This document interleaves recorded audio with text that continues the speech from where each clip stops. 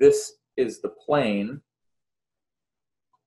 4x plus 3y plus 6z equals 12. And what I want to do is find the volume inside of there. So you see you get this, it's kind of like a tetrahedron.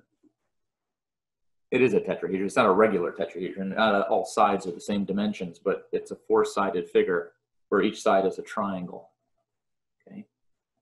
And I want to find the volume. Well, volume is obtained by integrating a triple integral over the region. What would I what would I integrate? Well, remember how we did area, we just integrated the function 1. So to find volume, you just integrate the function 1. And that should make sense because if you integrate dv, you should get v. If you integrate, if you sum up all the tiny little volumes, you should end up with the total volume.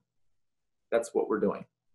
So um, this is all we have to do. Our function is just 1. The tricky part to this problem is figuring out how to specify the bounds on this one. And you can actually set this up dx, dy, dz, dz, dy, dx, any one of those six ways. Let's start with x, okay? So I'm just gonna pick an x, pick an x value here. And now for each x, I'm going to integrate this, I'm gonna find, I can specify different values of y by integrating in this direction, right? So for each fixed x, I can let y vary from here to here, right? And then for each of those y's, I can go from here up to the top. And I'll get to every point inside this tetrahedron if I do that. For each fixed x, I let y go from here to here. And then for each fixed x and y, I let z go from here to here. And that will get me through every single point in this tetrahedron. So that's one way to set up this integral. We started by I'm going to leave some space here because I'm going to put some stuff up here. Um, we started by fixing x. So x goes on the outside. And then for every fixed x, we integrated in the y direction, right? So y is next. And then for each fixed x and y, once I had those figured out, I got to this point, I integrated in the z direction. So z is last.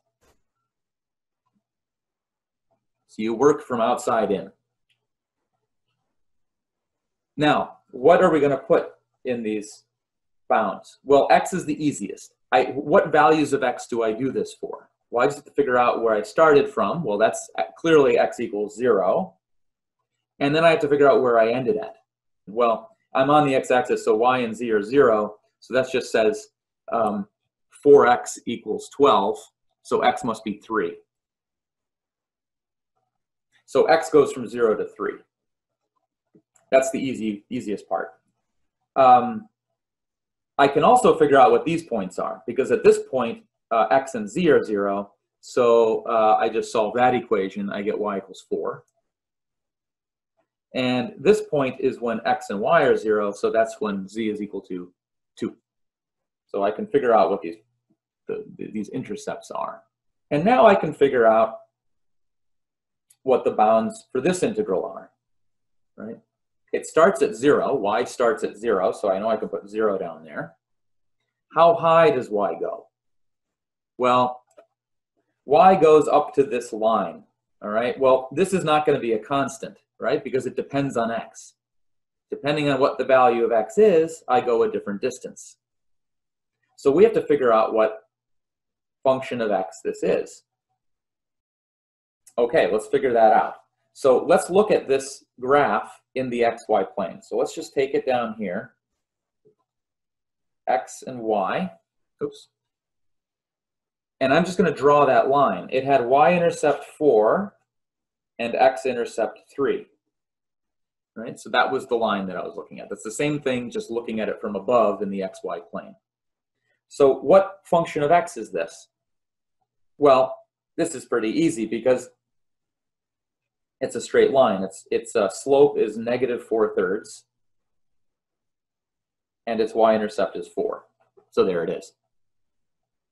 So that is what this line is represented by. And that's how high y goes. So what I'm doing is I'm really going from, you know, when I fix an x, y is going from here to here.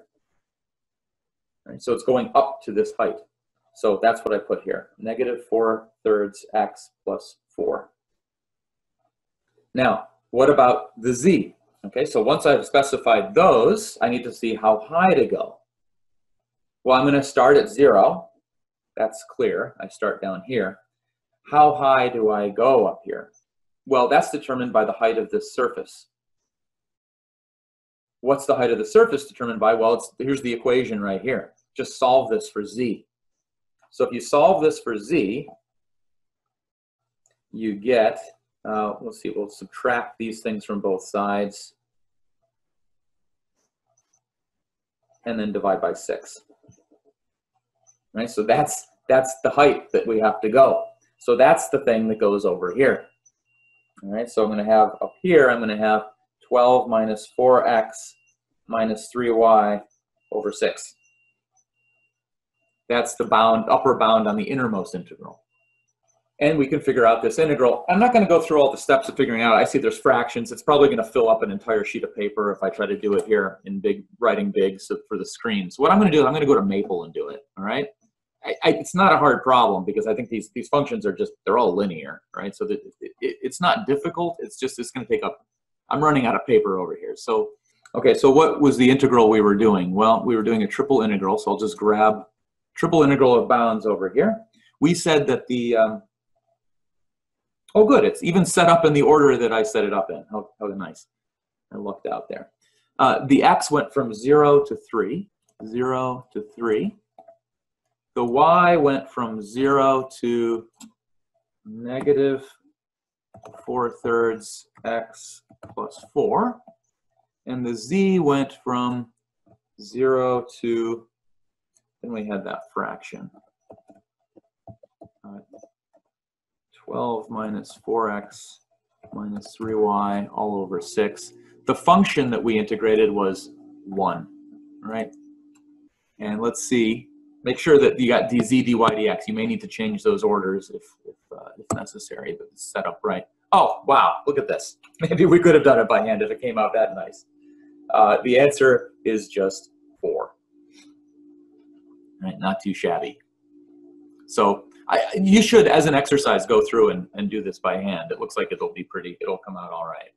So suppose I wanted to do, let's really mix it up. Let's do dx um, dz dy. How about that? Now I know I need to leave space here because I had to write those functions up here. So I'm going to do, um, I said uh, dx, dz, dy. So here I'm starting with my y.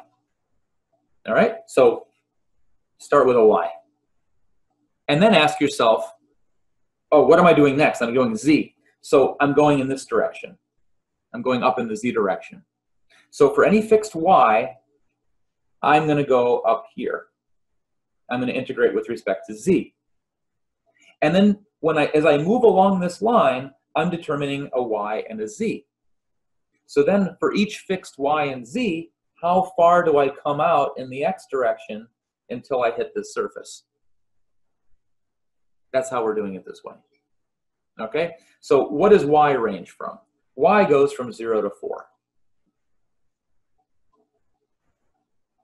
Okay, now for each y between 0 and 4, how high does z go? Well, that depends because it depends on what y is. This is not this is not a horizontal line, it's a diagonal line. So it depends on the value of y. I need to find this line as a function of y. Okay, so what is that? Well, its uh, z-intercept is 2, and its slope is uh, down 2 over 4, so negative a half. So in the y-z plane, right, I'm just going to draw that line again. It just looks like this. z is equal to negative 1 half y plus 2 just mx plus b. except it's my plus b because it's y is the variable. So for each fixed y, that is how high I have to go. Okay, so z, let's go back down to the integral, z is going to go from 0 up to this high. Negative 1 half y plus 2. That's moving up along this line segment in the back. So now, as I move along that line segment, I've specified both a y and a z. So now I have to ask, how far do I have to go out in the x direction? Well, I have to go from 0, from all the way in the back, up to until I hit this surface up here. Well, that surface is given by this uh, equation over here. So I want to know how big x gets, so solve this for x. If I solve this for x, I get, let's do that up here, I get uh, 12 minus 3y minus 6z over 4. So that's how big x gets. So x is going to go from 0 to that. Right, so it's going to be 12 minus 3y minus 6z over 4. That is an alternative way to set up this integral. Right, that'll also get me 4. And in fact, this region is such that it's just a super nice region. It's not super nice, I mean, it's a little bit complicated to set it up, but it's nice in the sense that you can do it in any order. It doesn't matter what order you set these up in. You'll be able to find the corresponding functions that go here, here, and here.